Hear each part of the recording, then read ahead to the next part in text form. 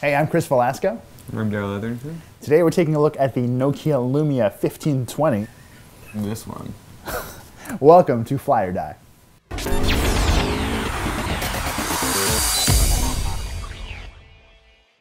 You've been holding this in your hand for a little while now. You've been playing with it for a couple days. My hand is very tired.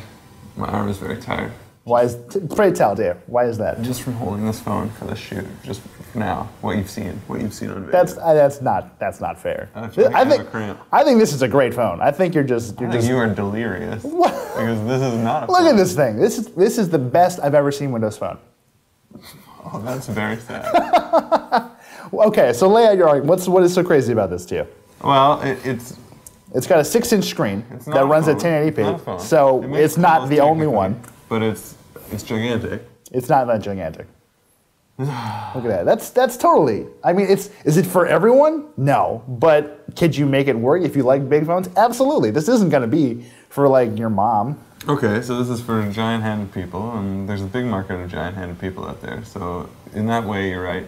Um, I I kind of like the plastic. I'll yeah, the polycarb is always nice. And Yeah. kudos to Nokia for sticking with it. They do they do a good job of that, but uh, Look at that. Look at that slim profile though. That's yeah, fantastic. the camera hump is like always always annoying. This is better than the one on the 1020. This is Yeah. Are you really going to complain after looking at the 1020 and then No. having this tiny I'm 20 not. megapixel camera? You should not have a headphone jack in the middle of the top of your device. You just should not do that. Why? It's stupid. Why? I don't know. I think it's great because if I have it in my pocket and I have my headphones running into it, you're just being you're just being contrarian. I'm not just being contrarian. I really, I really think this is a totally ludicrous device. Look at the backlighting on the keys. Okay, if we're gonna if we're gonna pick nits, sure. The backlighting on the Windows keys that run along the bottom of the phone is not completely uniform. Yeah, exactly. I'll give you that. there you go. Case made. Done.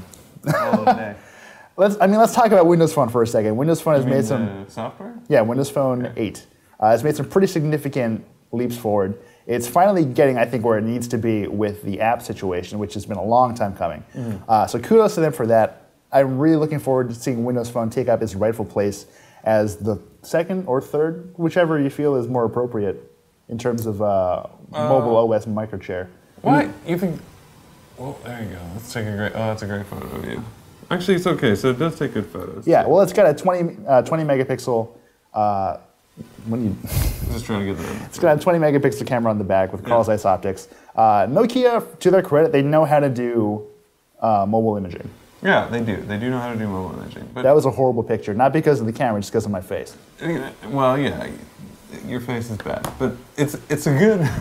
It's a good enough camera and, it, and it's a good enough software or, or operating system, but it's, it's I don't know, and it could become number three easily. Mm-hmm. It's never going to become number two. Is that what you suggested? I, th- I think given enough time, It's which one is it going to surpass? ooh, could go either way. Really? No, you're crazy. That's crazy. You think? Philip. I, I, I am holding out hope. But you are the guy who said has positive things to say about this phone. Well, I mean, so look at this. The screen is beautiful. The screen is fantastic, and with uh, Windows Phone 8.1, I believe you've got now three full rows of live tiles. So you've got all of this beautiful. One, not two, but three. Jesus Christ, Dan.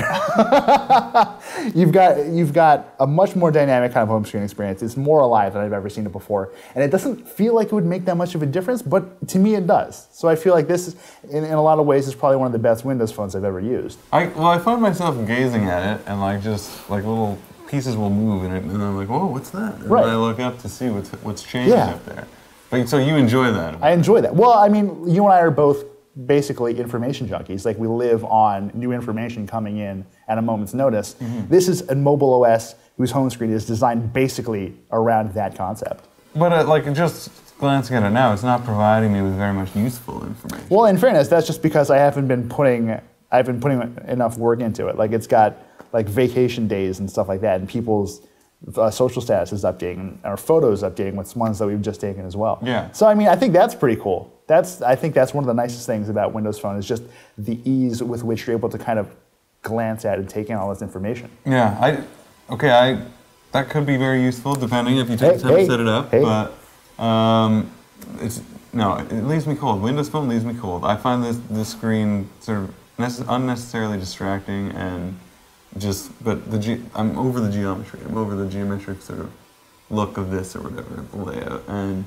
I it, yeah, and it's not exciting to me. It's it's visually it was visually appealing. It was really visually interesting at the beginning, and now it's just like I find it boring now. It's boring already, despite the fact that it's not caught on uh, and become popular and like ever present. Like I see a Windows Phone every I don't know six months or something, but it still bores the hell out of me every time I do. I think we can both agree that it gains points because it happens to be the same color as my sweater, roughly. does get po- points Not really, that, not even yeah. actually. There are no shoulder pads built into this, but there are in the sweater. So Yeah, there sweater shoulder wins pads. there. Mm. Yeah.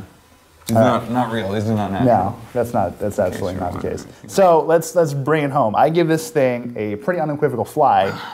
Dale, I hate you so much, Dale. Just the opposite. This is die, die, die. Well, there you have it. Another split decision from Chris and Darrell. Uh, today we've been looking at the Nokia Lumia 1520. I'm Chris Velazco. And I'm Darrell Etherington. This has been Fly or Die. Thank you for watching.